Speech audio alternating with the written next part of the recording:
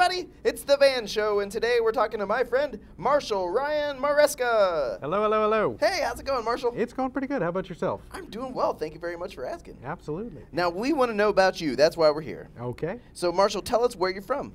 Um, I'm originally from uh, upstate New York. I grew up uh, outside of the city of Syracuse.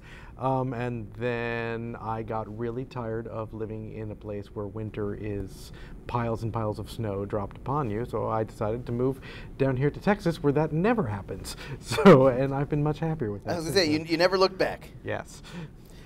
Now, Marshall, how early on did you start writing?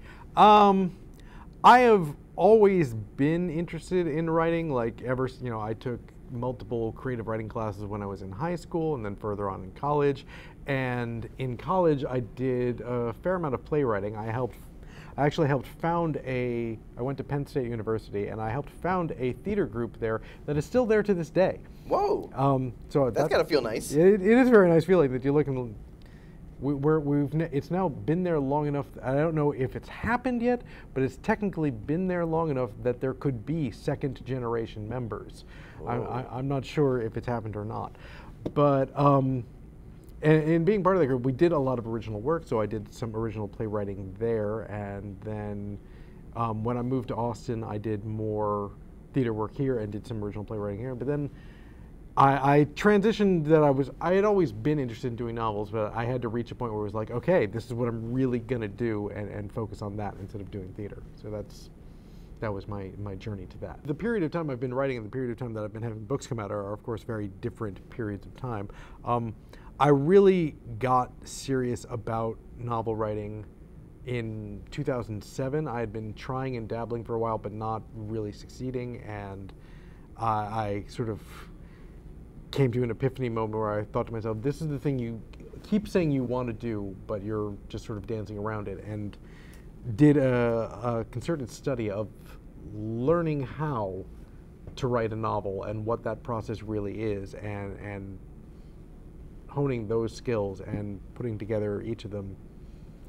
Um, and so I was then just writing novel after novel and then starting the process of trying to sell them. So by the so I had many years of working on that before I even had the, the, first sale that came out. So um, now I, I want to talk to you about your books. Yes. And a lot of your books take place in Maradaine. Is that am I saying that right? you are saying that correctly. Maradaine. is is the city in which all of these books are set in. They are there are four different series that are all set in the same city, and because they are in the same city at the same time, there is a degree of interconnectivity between the different series. But each Oh. of them has its own story track. Now, uh, so you you've you've kind of bridged this like magic and science, where you've got like scientists studying magic uh, like a science.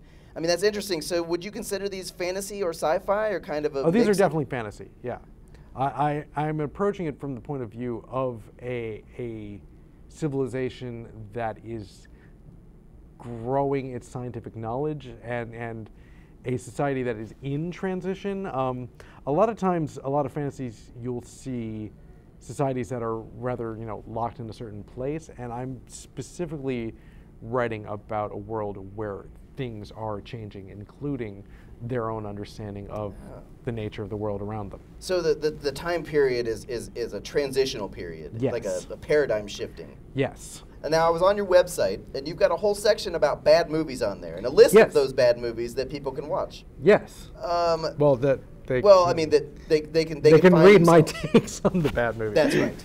And then they can go to the library or the if they have a video store like we do in Austin, they can go rent it there. Yes. Now, do you have this on there because you feel like these are influential in some way, or do you just want to plague everybody with the bad movies you had to suffer through as a kid? Well, when, when, I was a kid, um, I, I think I, I delve into this in the, in the first one of that, but I, uh, you know, we had like the full cable package. So, and whenever you, you know, have like HBO or Showtime or Cinemax, any movie that they have that month, you know, they only have access to, say, 30 movies for the whole month of what's on there, you know, what they have licensed. And so lots of movies get shown over and over and over again. And if you were a kid who just, you know, sat around inside all summer, you watch those movies over and over and over again. And there's something about the nostalgia, but also, you know, even if a movie if a movie's outright bad, like just There's not, not well made, there might be like a, a story thread in there that you're like, that's a great idea.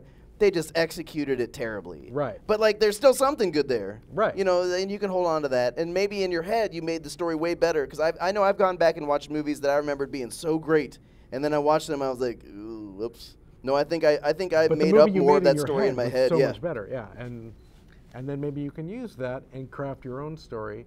I mean, a lot of a lot of great books and a lot of great stories came from somebody going, "This thing was really good, except this part." And if I did a thing without that part, then I'll, you know, then that'll be a great story. The light bulb moment. Yeah. Ding. One, two, three. Goodbye. Bye.